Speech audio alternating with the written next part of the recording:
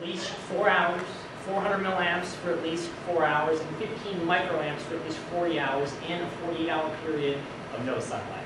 That allows um, our customer to be in sleep mode uh, with his microprocessor for the majority of the time, 20 hours a day, very low power, only requires 15 microamps, 3.3 volts. It allows him to run either just the processor or just the Wi-Fi card at 400 milliamps for four hours, and also allows him to run both his microprocessor and his Wi-Fi card, which is the 400 times 2, which is 800 milliamps for four hours within that 48 hour period. And of course, the battery issue needs to be able to last at least five years.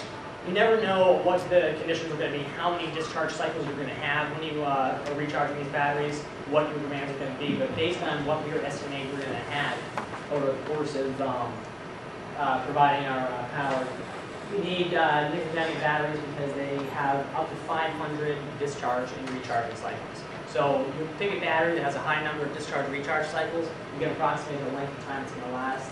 With a very robust battery that can be recharged constantly, like nickel cadmium, we estimate we will be able to move this back to uh, last you five years without replacing batteries.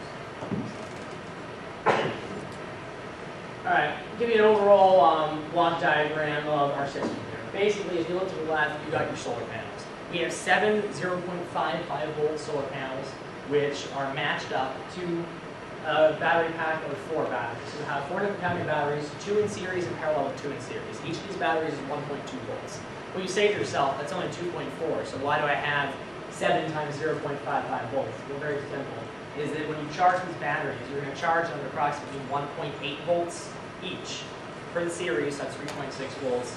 Uh, we match it as close as we can given the uh, industry standards of solar panels available, and that allows us to explain why we have the rating we do. All right. You see two um, 1 mega ohm resistors right there in uh, parallel with the batteries. The point to this is they, they pull down the voltage to an acceptable range where you could input that into any AD converter. Not necessarily our AD converter, but it could also be an AD converter on our customer's electronics. We provide an AD converter if they um, if there's enough I squared C connectors, which is the output uh, configuration our AD converter on their electronics, they can take our digital signal, monitor our battery capacity, and that allows our customer to know what exactly our operating conditions are like right now. How much longer can we provide power in the absence of sunlight? Are our batteries full? Are we at a full bucket of charge? Or are we nearing the end? And if you're nearing the end, you want to have that understanding of how much longer you have so that your camera doesn't simply just shut off. It gives you estimating purposes for how long you're able to go. Uh, and pull-down resistors allow us to also give an analog output as well as a digital output um, if they have their own uh, digital electronics. The DC-DC converter is simply our choice for regulating um, our voltage. Whenever we give it in, it steps it up to uh, 3.3 volts. 2.4 is what our batteries are going to have at full um, capacity. We get it up to 3.3. That allows us to stay within our range for the uh, 902 microprocessor. Alright. Basically functionality of where our project stands at the moment at ECE Day. We are not 100% functional due to a flaw in our um, circuit board. And basically what that means is that after debugging we realized that two pins, two duplicate pins for uh, ground and power out exist on the PCB. We thought that we could leave it open and not have any issues. Well, it turns out manufacturer recommends that you keep these pins soldered together. And if you solder them together, you won't have any problems. You'll be able to get that full regulation of the DC-DC converter. Without them soldered together, what happens is that your DC-DC converter, the output voltage, simply follows the input voltage you give it. So it's essentially not regulating anything. We have a completed design ready for fabrication. We can send this design out within a matter of days. We have a fully functional PCB. It's just an issue of having to solder them together by hand is a very tedious process, nearly impossible, something we never recommend to be done for a customer. So our recommendation is to send this out and get it refabricated. We would have a fully functional. Next slide. All right, talk a little bit about the two um, cornerstone uh, components of our electronics here, our AD converter and converter. I'll talk about the AD converter. This is, like I said, how we're going to give a signal to our customer to monitor our battery capacity, give them an idea of how long we can give them power. Basically, it's a Maxim 1363 AD converter, 12-bit um, signal. Um, it's I2C compatible, which works pretty much any microprocessor. I'll now turn over to Mr. Alex. All right, I'm going to go over the selection of the DC-DC converter. This is a big part of the project because the most important thing is that we're able to power the device we're supposed to power. Biggest feature is that it's a 3.3 volt clean signal, and by clean I mean it doesn't fluctuate more than 100 milliamps, one way or the other. Um, it also needs to be able to provide appropriate current. It needs to be able to provide up to 1 amp to safely ensure that there's 800 milliamps available to our customer at all times. Um, there are a lot of DC-DC converters to choose from. Uh, the first and foremost selection was voltage, fluctuation, and possible current. And we're still talking about thousands of DC-DC converters. What I did is I looked at the DC-DC converters used for cell phones, because if you think of it, our operation isn't that much different than a cell phone. Providing power to a chip over a long period of time. is a low-power operation. And what we ended up settling on was the MAX 1763. It's a 3.3 volt uh, adjustable output. Oh, it's all right there. Let's take a second to take a look. Okay, I'll now go over the printed circuit board design. The main goals were that everything was on a single PCB board for easy connection. We wanted enough terminals to power all the devices necessary, that is the iMote, the Wi-Fi card, and our own um, AD converter.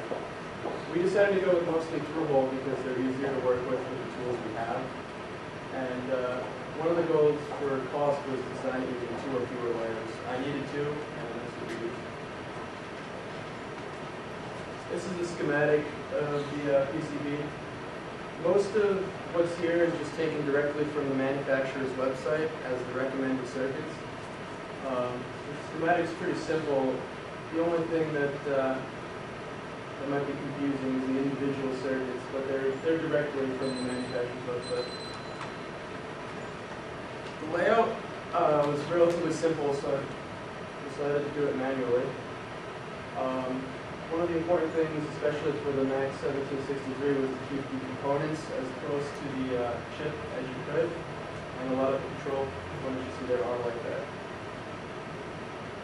Oh, the uh, plug that my colleague pointed out earlier, these pins right there on the bottom right-hand corner. They're now corrected in the final design. And this is a picture of the finished board.